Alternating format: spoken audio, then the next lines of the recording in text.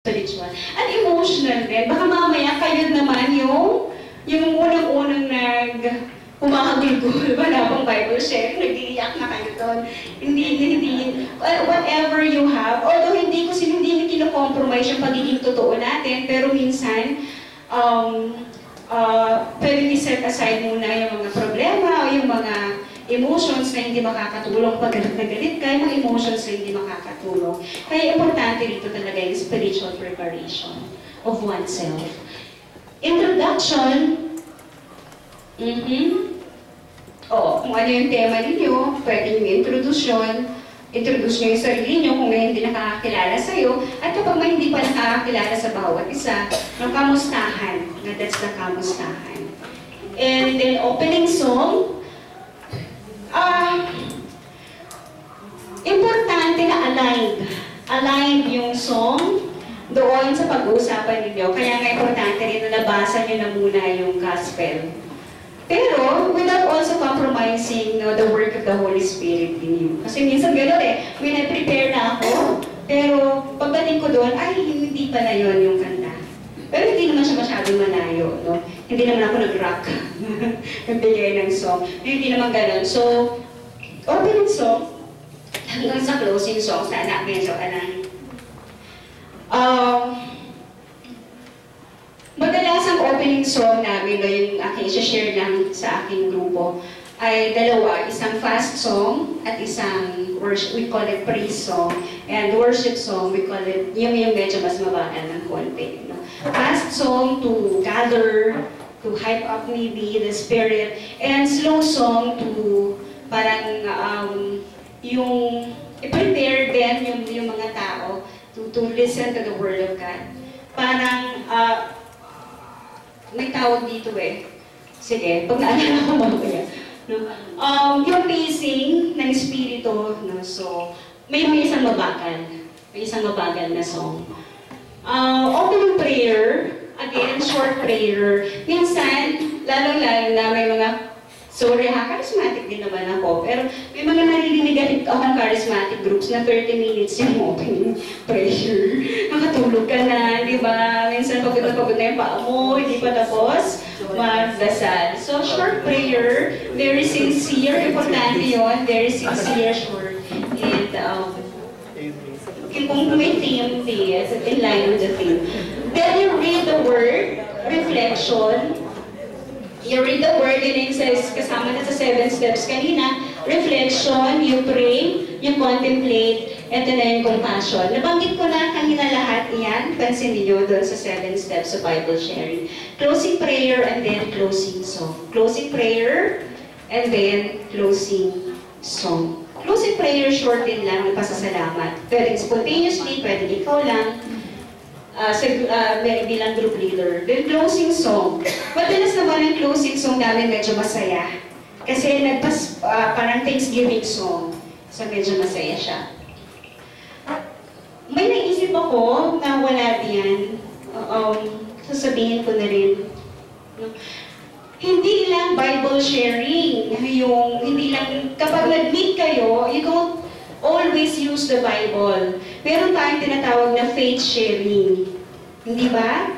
Meron din, pwede din kasi yun, no, parang hindi masyadong maimpacho, pwedeng uh, alternate. Kunwari, first week, um, kamustahan lang, and we, we call that fellowship. Kain lang, di ba, over a roll of cake, o kaya may ice cream. Uh, second week, pwedeng Bible sharing, so you use the Bible. And then third week, um, pwedeng faith sharing. Ano naman yung nangyari? Kumusta naman ang iyong pananampalataya? No? Ano yung ginagawa ng Diyos sa iyo ngayon? Fourth week, pwede namang ito yung gagawa kayo ng charity work as a group. Minsan, bonding nyo na rin yung magawa ng charity work eh, as a group. O kaya naman, gawin ninyo, pwedeng planning week naman yung fourth. No? So, pwedeng planning week yung fourth kung ano yung napag-usapan nyo dito.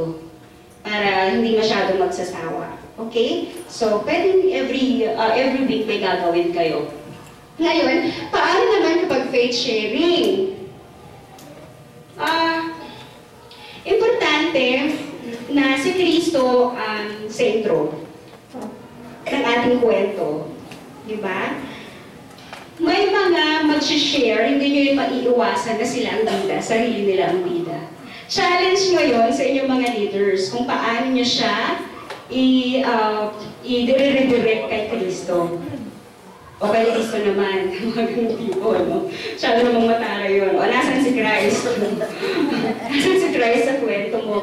O kaya naman, pwede naman, lahat na pagbago kasi hindi pa nila ma, ma, masundan eh, yung pagiging yung Christ-centered na sharing. Pero yung mga luma na at mga leaders na set an example kung paano yung Christ-centered na sharing. Ano, paano nga ba yun? No? Paano nga ba yun? Ano yung ginawa ng Diyos sa inyo?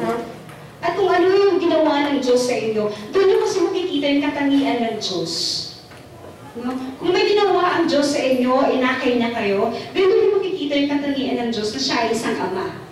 Siya ay isang tatay. Na nakasentro sa Diyos, hindi yung problema nyo nung inakay kayo ng Diyos. Hindi ba?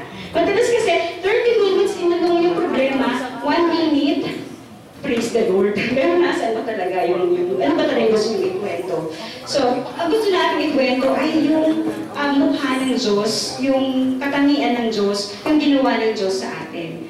Eh kapag sinamahan naman kayo ng Diyos, feeling nyo hindi niya kayo inakay, pero nandyan lang yung Diyos, sinamahan niya kayo, andyan din pa rin yung problema. Lalabas kasi doon na yung Diyos ay isang kaibigan na lagi yung kasakasama. So, tatay, isang kaibigan. So, siya yung, siya yung sentro, hindi kayo.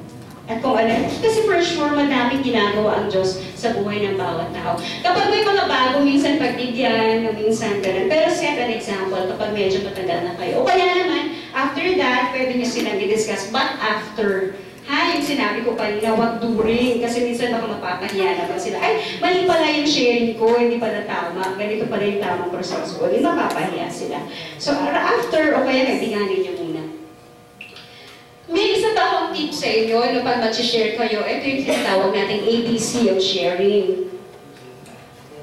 ABC, A for audible, B for brief, or short lang, and C for Christ-centered.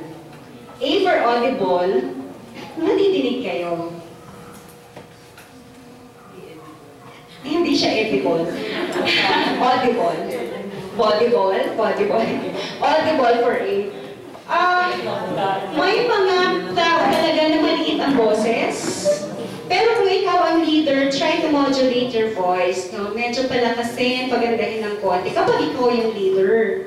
No, Lalo-lalo pag nasa yung Espiritu Santo, kung hindi ka naman naririnig, wala din, di ba? Sayang. Sayang yung ibinabahagi mo. So, audible.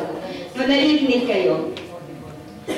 Pero, hindi lang yung mamaya matatakot din natin sa listening, hindi lang yung audible na perception of the, the sound eh. No, ito yung naririnig kayo, ibig sabihin kapag nag-share kayo, importante na pasok yung punto nyo.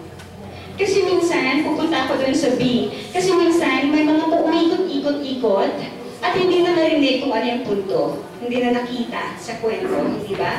So, kaimportante na B, brief lang. Hanggat maaari, short lang siya.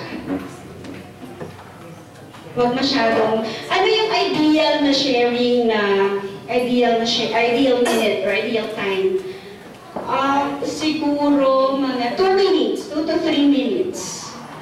Mahaba na, medyo 5, 3 to 5, 2 to 3 minutes, 2 to 3 minutes pwede na yun.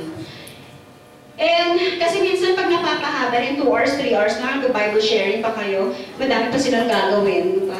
So, oo. Ano yung C, Christ-centered? Nasabi ko na kanina yung Christ-centered. Pero at least tandaan nyo lang ito. When you bring this down, ABC, di ba, napakadaling tandaan. Audible, audible, ay hindi pala. Audible, brief, and Christ-centered. Christ-centered tayo, ha? Meron bang tanong bago ako pupunta sa listening? May tanong? Pag may tanong kayo, sasagutin ni Sister. Ayun. Wala nang tanong? Okay, sige. Pupunta na tayo sa listening skills. Malinaw naman.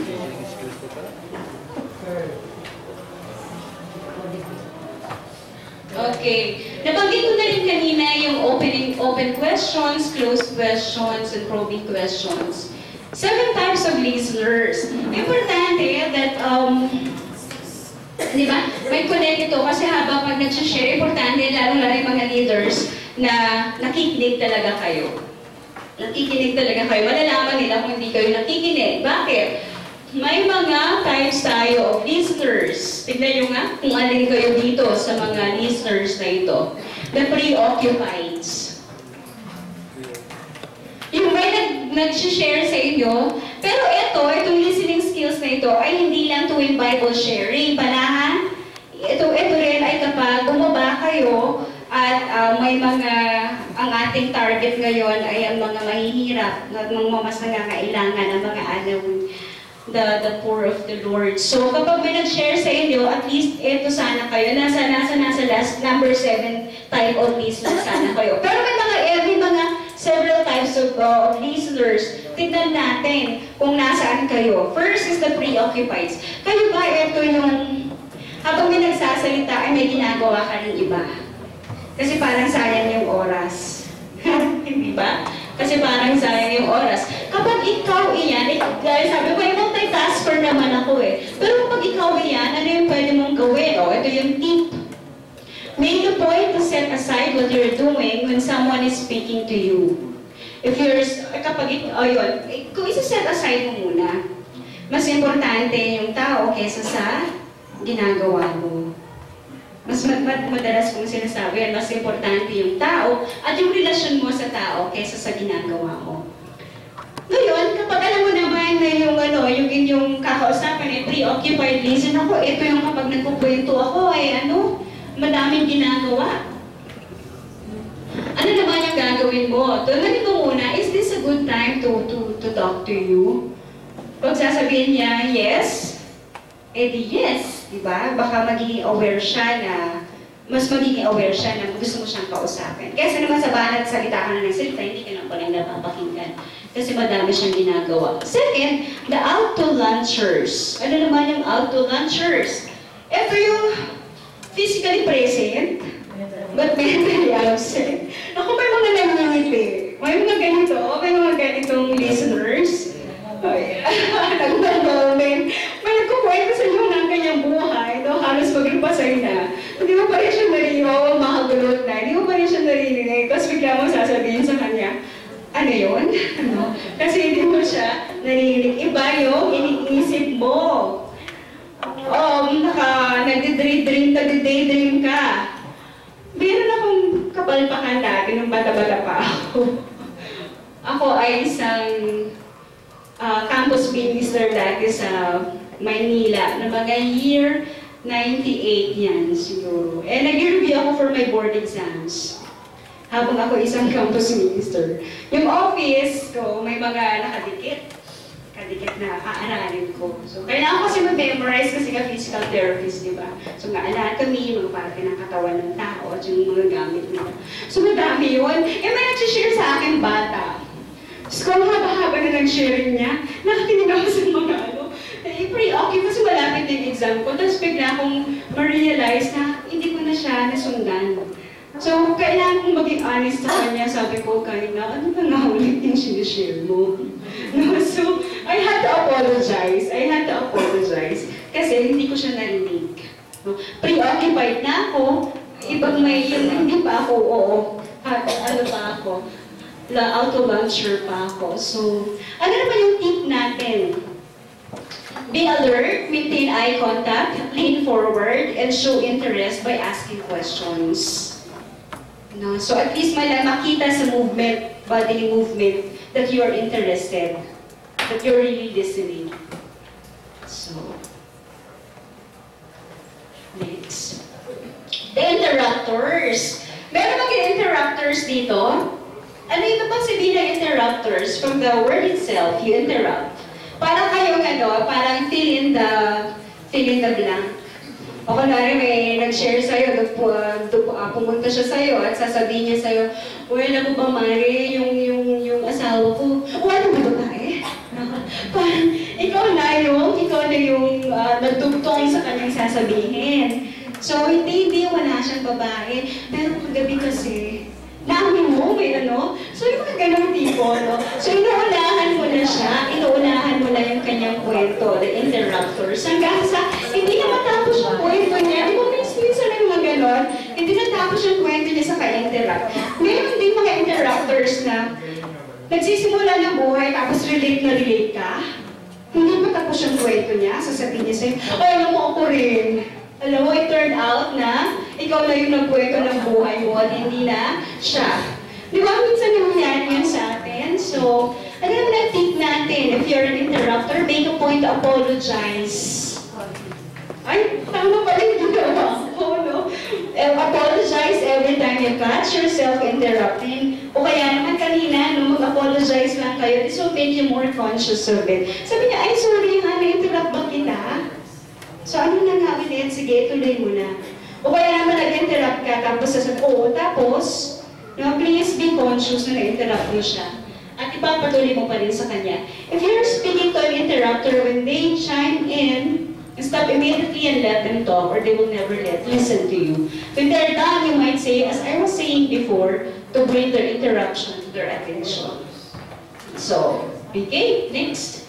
The whatevers. Naku, mga kabataan natin kayo. Pero hindi ko naman nilalahat. No? Whatever. Di ba? Pag merong medyo ayaw nila or they disagree with, whatever, nag-disrupt pa yung shoulder natin. Whatever. Diba? So ano naman itong whatever na listeners? These people remain aloof and showing little emotion. So kung sa tingin mo ay ikaw, pero alam mo, may mga taong ganun talaga ba to? Natawa kayo, hindi meron talaga. Pero baka nakaka-relate kayo. Kasi, meron pumunta, may dumating, pumunta, ano ba, which one? May dumating sa akin, may pumunta sa akin na leader na siya, ha? Ng isang professional group. Sabi niya sa akin, Ate Divine, bakit ganun? Ano? Bakit kapag may nag-share sa akin, parang hindi ako makapasok? Parang bato lang ako.